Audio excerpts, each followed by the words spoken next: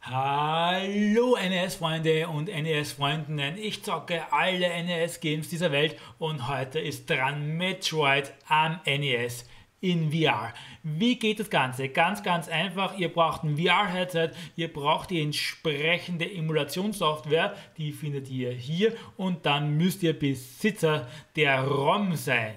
Bevor wir loslegen, noch zwei Sachen, nämlich Daumen hoch nicht vergessen, da unten könnt ihr abonnieren und zweitens, ich habe schon jede Menge NES-Spiele in VR gespielt, die verlinke ich euch gleich da oben. Gut, lasst uns loslegen. Metroid am NES in VR. Go! Ich weiß, es sieht nicht so aus, man kann es kaum glauben. Das Ganze basiert auf der Original-ROM von Metroid am NES. Man benötigt sie auch zum Spielen, ohne geht's nicht. Der Entwickler der Emulationssoftware macht sich da viel Arbeit. Es muss jedes Spiel einzeln angepasst werden. Und er bestimmt mehr oder weniger auch, welche Teile wie dreidimensional sind und so weiter mittels hinzugefügter Scripts. So zumindest beschreibt er das auf seiner Webseite. Richtig, richtig fein schaut das aus. Schaut mal die Farben und ach, das sollte man echt mal so für VR umsetzen.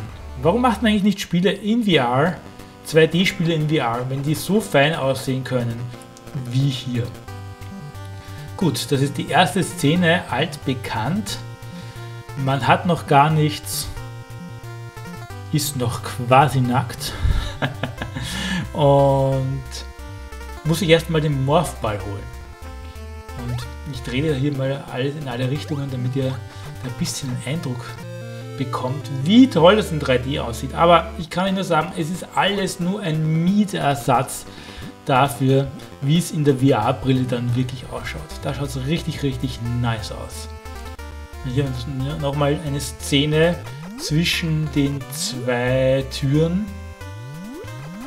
Geht rüber und landet hier bei dieser Stufenpassage. Ah, auch richtig, richtig, richtig schön.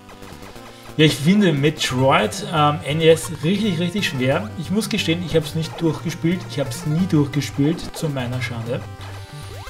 Ja, ihr könnt mir mal verraten, welcher Metroid-Teil euer Lieblingsteil ist. Ich verrate euch dann am Schluss, welcher das bei mir ist. Aber der erste Teil am NES, richtig, richtig hart.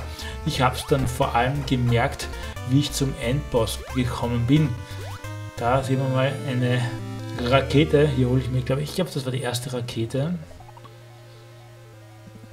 Und hier nochmal der 3D-Effekt von diesen Strukturen, worauf man geht. Richtig, richtig schön. Aber nicht nur davon, auch die, diese Tore mit den Schutzschildern schauen sehr fein aus. Und auch die Spielfigur selbst hat ein bisschen Tiefe bekommen. Richtig schön gemacht. Gut, lasst uns mal da durch die Tür gehen. Und das ist das Endboss-Level, ja.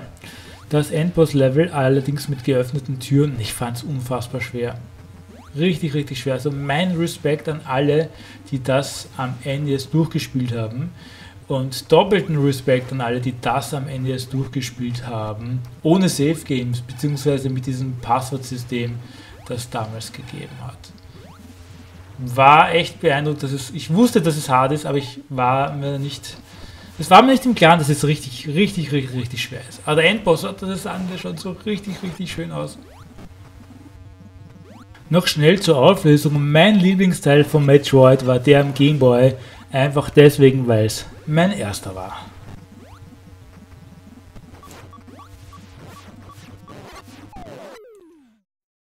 Ja, das war Metroid am NES in VR. Sieht richtig, richtig fein aus. Leider kommt es im Video nicht ganz so super, wie es eigentlich in der VR-Brille ist. In VR ist es wirklich vom Allerfeinsten und deswegen empfehle ich euch auch, holt euch die Software. Ich verlinke sie jetzt schnell nochmal hier. Holt euch die Software, unterstützt den Entwickler. Die Software kostet aktuell im Early Access was bei 20 Euro. Ist es wert damit der Entwickler genug Kohle hat, damit er da auch dran bleibt. Ich hoffe es. Ich werde auch weiterhin ähm, NES-Spiele in VR testen. Für mich und für euch. Ja, wenn ihr weiterschauen wollt, was ich hoffe, ich habe jetzt noch einiges andere in VR gespielt. Ich verlinke euch gleich mal Tetris in VR. Auch richtig, richtig, richtig fein. Könnt ihr euch gleich mal reinziehen. Und in der Playlist gibt es dann auch noch Mario am NES in VR. Auch richtig cool. Also Leute, wir sehen uns gleich. Klickt gleich mal weiter zum nächsten NES VR Video. Und liken und abonnieren nicht vergessen, ist doch klar.